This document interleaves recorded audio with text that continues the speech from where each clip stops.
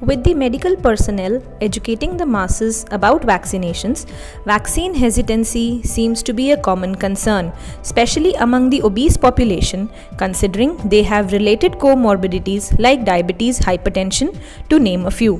The vaccine reaction to such conditions is still underreported. However, a ray of hope falls on these people as a new position statement by the Obesity Society has revealed that COVID 19 vaccines are equally effective in obese people as in non obese.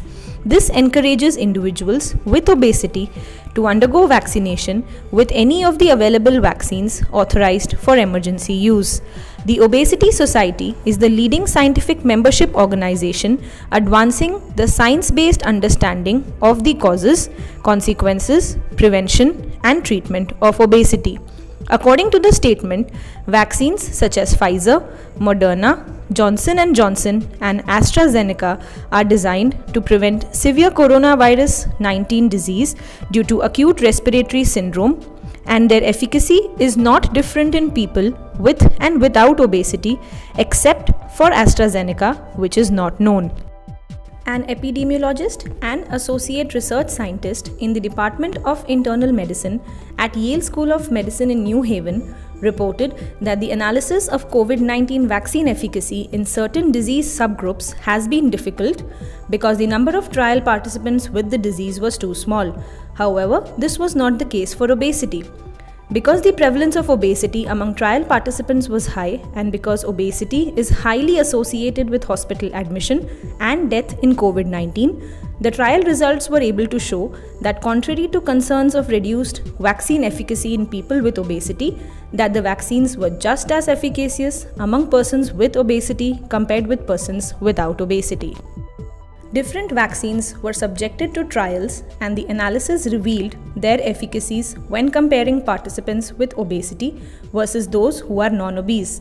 It was found that Pfizer vaccine efficacy was 95.4% among participants with obesity compared to 94.8% among participants without obesity. In a subgroup analysis among participants with severe obesity, Moderna demonstrated an efficacy of 91.2%. Johnson & Johnson vaccine efficacy 14 days after dose 1 was 66.8% and 65.9%.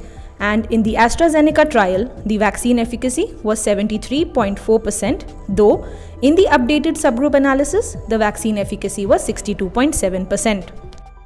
The Obesity Society endorsed recommendations regarding vaccine efficacy in persons with obesity. The Society recommends that persons with obesity should be vaccinated for prevention of COVID 19 in agreement with CDC recommendations, as obesity is clearly associated with an increased risk of more severe course of COVID 19 disease and death. There is no definitive way to determine which COVID vaccine is best.